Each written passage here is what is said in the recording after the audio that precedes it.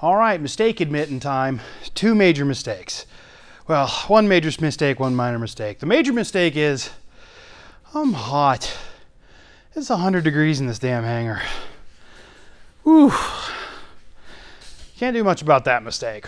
The second mistake I made is with these holes. So if you recall, we were supposed to leave several of the holes across the back baffle uncountersunk to make sure that everything lines up uh, when we're sealing the tank. And then we go back after the fact, countersink those down and then set the rivets per normal. Well, the mistake I made was I swapped out the number uh, 40 or number 30 countersink with the number 40 countersink, which is the correct hole without changing the depth. So I over countersunk. I, I countersunk the crap out of it. Um, oops. It's okay first of all, always recheck your calibrations, make sure, don't go blindly because this mistake will happen. But uh, easy to fix. All I did was I just drilled it up to the slightly larger hole and instead of using the 3 3.5 rivet, I used a 4.4. Uh, I don't have a 4 3.5. So um, super, super easy. I think the results look fine. Also, this is on the bottom of the, the tank uh, under the wing, so most likely no one will ever know unless you go looking for it. And if you go looking for it, I'll know you watched this video. Anyways, guys, mistakes are gonna happen, no big deal. So once I fixed that minor error, um, I then went on and worked on sealing the tank a little further. So I've got the one tank that's already sealed. There's still some rivets that are exposed. I wanted to add a little more Pro Seal on the outside of those to make sure they're fully sealed. Uh, and then I wanted to start working on just my water test of the tank that has yet to be sealed. So I haven't really just covered this well. Um, how I was how I envisioned doing the leak test was first you you build the tank, you get it to where you think it's sealed with the back off, that back baffle. Fill it full of water, let it sit for a couple days and see if any anything leaks out. Of course, nothing did on the first tank. Then seal it by putting the back baffle on and then blow it up using you know, just air pressure and see if, it, if any air escapes, see if that works. Once that is successful, then it's a matter of pouring actual fuel that's going to live in there, in there, and let that sit for a little while and see if any leaks form. Um, that's kind of the method I've been going, kind of a three-part test and I'm on part two of my one tank and part one of my other. And as you can see here in this picture, uh, part one had a failure for my other tank. I, I had a little hole. Uh, way down deep in there, you can see that there's just a little bit of a gap that I hadn't fully uh, uh, uh sealed with the Pro Seal. I mean, looking at it, it's obvious, right? But for whatever reason, I missed it. So I went back through and I gooped on Pro Seal deep down in there and got it in, got it sealed, and now I'm letting that set. Same thing with this picture of this tank. That's all, all that is pro, new Pro Seal that I'm letting set. So while the Pro Seal is setting, um, I'm gonna start working on the flaps. So here I am up in my wood shop. You guys may remember this from, from the early days. I used to come up here all the time and work on stuff. Uh, and it just so happens that I'm going to be doing some a little bit of work up here because we have to make as part of the flaps a way to hold the flaps. Now up to now I've been using uh, these jigs that I've made that are just have a strap uh, because it really didn't matter how uh, the, the parts sat in there. Whereas these have a very specific shape, and if I put them in that jig, they're always going to go thunk against one side. There's no way to hold them up uh, because of this, this shape. So this time I do actually need to make actual holders, if you will. Um, so to that end, what I did is I took um, this guy right here, this end piece, and took a photocopy of it, basically. I put it in my scanner, scanned it, and created a pattern for my CNC. So what I did is I, I basically, I made a holder, right? And it, I was a little too accurate in this piece to here. Um, that metal fits perfectly. My CNC works well. Uh, but it means, of course, if you can see here now with an actual rib attached, there's no way in hell I would, I can't even get this rib in there, let alone if it had skin, right? So I, I made them bigger and I've recut them so that now it will fit with a goodly amount of space on either side. that's enough space for me not only put the skin in there, but to put like a felt padding or something like that, like a furniture mover pad, that sticky pad that I can stick in there. So these will then sit exactly where I want. And so now I'm just printing up a bunch of these with my, my uh, little inventable CNC. Uh, you need six of them. So that's what I'm doing up here.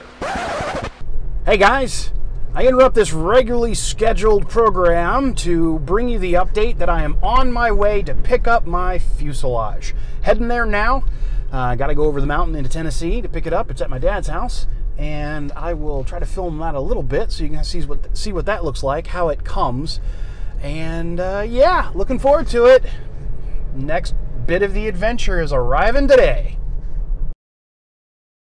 All right, so I got the call. I went over to my dad's house, and uh, a little while later, the truck driver showed up. He was in a Ryder rental truck. He said that his truck that he normally delivers in, the air conditioner had gone out, and they didn't want him to go out in that truck because it was hot, and it is hot. It was 90 something degrees out there. Good thing we weren't having to push around a big, heavy crate like that one. That crate is eight feet long by three and a half feet tall by four feet wide and weighs well over 500 pounds. It's actually about four feet tall if you consider the pallet on the bottom. Uh, now, thankfully, we ended up taking that pallet off, and I just sent that pallet with him. He said he could use it, so I, I didn't want to have to deal with it. But getting it off the truck sucked um, you know, those those lift gates on the back of those trucks are only about four feet wide, and so it's an eight foot, you know, piece of you know, piece of cargo coming off there. I don't think they think about this when they're putting it on the truck. You know, they're delivering it at, or they're, they're putting it on the truck rather, you know, someplace where they can just drive on with a forklift. To, to get it off, you know, if you're especially if you tell them you need a lift gate, it has to go on that lift gate and then lower to the ground and it's an eight foot long grate. Um, so we did the best we could but you can see we had it hanging over the edge quite a bit in order to get it down. Now thankfully that guy is an old hand at moving and he he was telling me that he's moved bigger and heavier stuff than this. There's be no problem. He was really helpful. Uh, thank you very much dude. I appreciate it. You're the man. And uh, yeah then it was just a matter of driving home with it and i did not drive fast. The crate looks good uh, I went around and looked on all sides. I only saw one little minor blemish, hardly worth mentioning. I didn't actually see it uh, when I inspected the crate the first time until after the guy left, and then I noticed it. So I did not mark it down, unfortunately. But uh, I'm going to go through here soon and start digging through the crate and seeing what we got. Here, I thought I was going to embarrass myself backing that thing up. That wasn't too bad. Well, here we are. We've got, we've got the uh, the fuselage in its in its crate, still on my trusty trusty trailer here, but it's backed in. We're ready to go. Uh, I think everything looks good. Uh, the only thing that I don't like is now I only have a few days. You only have five days, uh, according to the new rules, to make sure that there's no damage that happened to this during shipping. Um, I've gone around and walked around a number of times, and the only place that I see any kind of damage at all to the exterior of the crate is a little spot over there where it just looks like it kind of bumped into something. It doesn't even look like it, it penetrated all the wood. It just looks like it compressed the wood a little bit. Uh, other than that, I really don't see any damage to the box. This box is pretty damn sturdy. So awesome. Uh, but still, I have five days to get in there to make sure everything's kosher and file a complaint if I need to, uh, or I, I, guess I'm just out the money at that point, right? If it's some major piece that's damaged, and you say you wait till the sixth day and you didn't, you didn't complain, well, tough shit. that sucks. So, uh, gonna get all the straps off, gonna, uh, you know, get the heavy stuff off here, and then open up the box and see what I can see.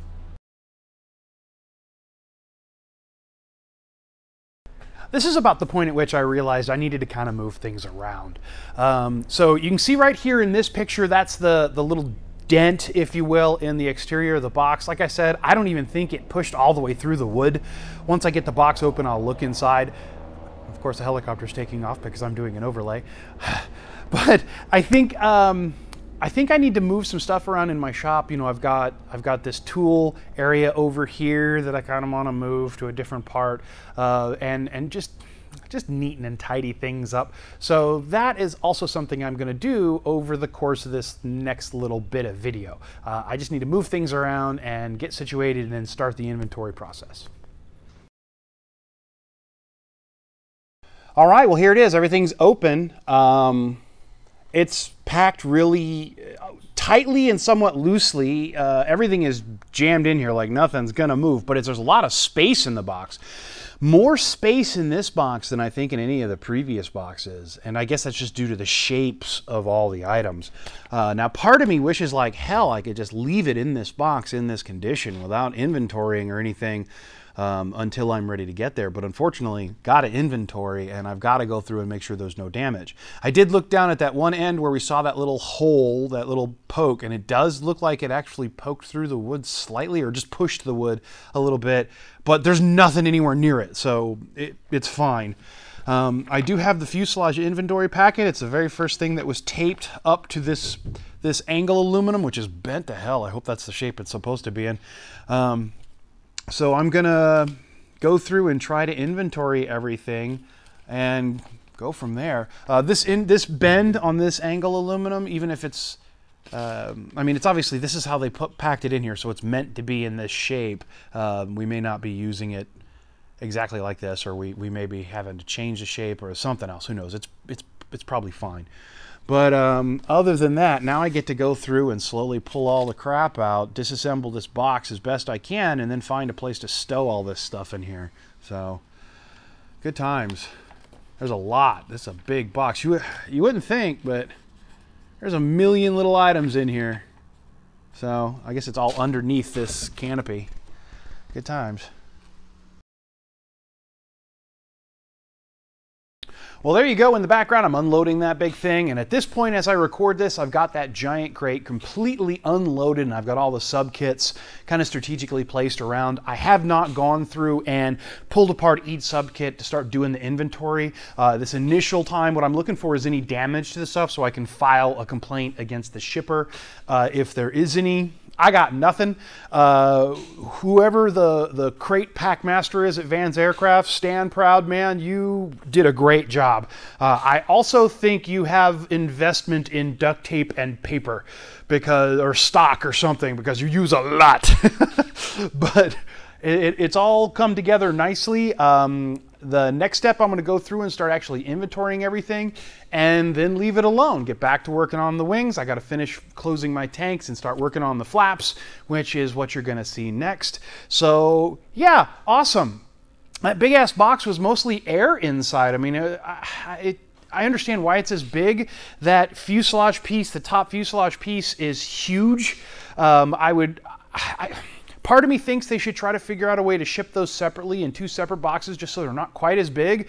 But that piece is so big that I don't know how that would work. I don't know how that would look. I don't know that that would be even be possible at that point. So maybe the, the giant box is the right way to go. They've been doing this a while, so it probably is.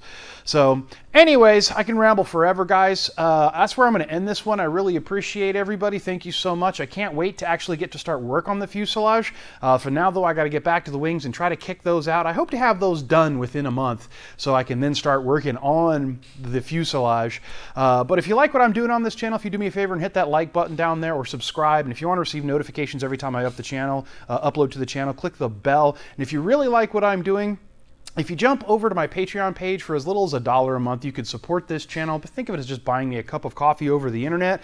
And finally, I did get a couple more people that have purchased Van's aircrafts. These two people right here, I just recently got their names. Uh, awesome. What a cool thing. You guys, if you want to build an aircraft, you can. If you use my builder's number, which is down in the, uh, down in the comments below, Van's will send me a hundred bucks as a, as a thank you. It's no money out of your pocket.